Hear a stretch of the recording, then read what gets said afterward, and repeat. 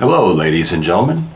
And in the case you haven't realized, you will soon be broke even if you have a job. And what am I talking about? With the prices of everything that's going up, you're not going to have to worry about what is available in the stores anymore because you're not going to be able to afford it. This is one way that these companies and these stores are going to be able to restock their shelves because they're going to raise the prices so high that the average person will not be able to afford what the product is on the shelf. There's a lot of things that are going on in this world right now that we really need to be paying attention to, besides what is taking place overseas. We have a lot of things that are, are going on right now in our own homeland that nobody is really talking about. We still have the bird flu that is still raging on, but you don't hear about that in the news. You don't even hear about Charlie Victor 19 anymore in the news. That's all been swept underneath the mat. It's amazing how one catastrophe outranks another, isn't it? But we all could be prepared. We still have all the different shortages that are going on in the stores. We still have that, you know, the shelves aren't full. There's still empty slots. There's still limits. There's still all this stuff going on. We have container ships that are still setting way out off the ocean where nobody can see them. But if you download a certain app, you can go on and it's called Marine Tracker and you can see for yourself. They're all out there. They're still having a problem moving all the products and stuff from West Coast to East Coast and vice versa. They bring the products over here, but they still have to get all those empty containers back to the West Coast to get loaded back onto the cargo ships so that they can make it back to their port. So they can be reloaded and sent back over here all over again. It's like one big, huge mess. We're still dealing with the on-site that once Charlie Victor 19 hit and the stores were completely wiped out of all different types of products, nobody has been able to catch up. What else is taking place? You know, there's still the whole tin shortage that is going on, but nobody seems to be talking about that either. You know, and that's causing everything from your canned goods to your beer to soda and everything else to go up in price or not be available. You see, folks, there's a lot of things that are rippling through this country.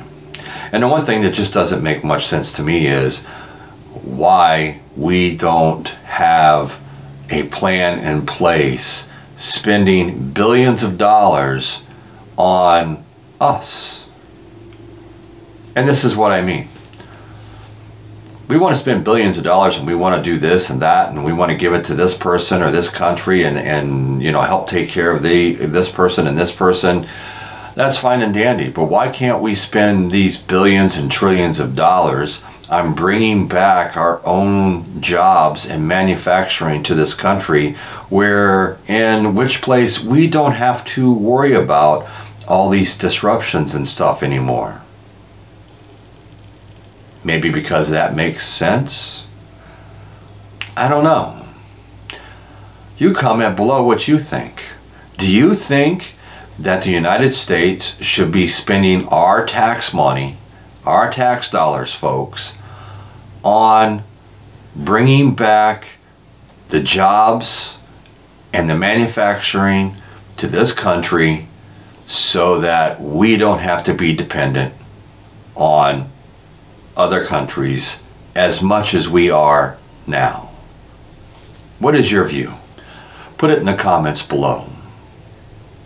The only thing that I can tell folks out there after doing these videos quite a few Sundays now, it's still disturbing to see that we're still in the same boat.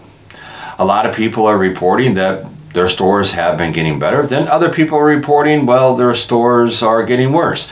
So it's a catch-22. It just depends on where you're at and I guess on what is taking place around you at the time of these things happening, which means, you know, maybe you're getting bad storms. Um, maybe there is more traffic. Maybe they've closed roads. Maybe the trains and stuff aren't getting through because of whatever.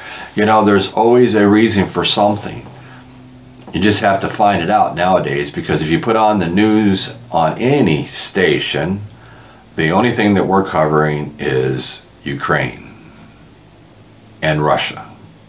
And my heart goes out to those people in Ukraine.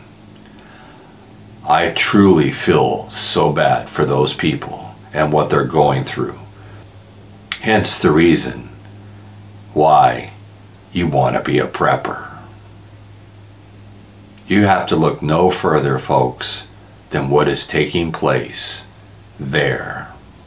If that doesn't scare you enough to want to be a prepper and make you want to be prepping to do whatever you can, I don't know what will. So, in closing, folks, I hope that everybody stays safe.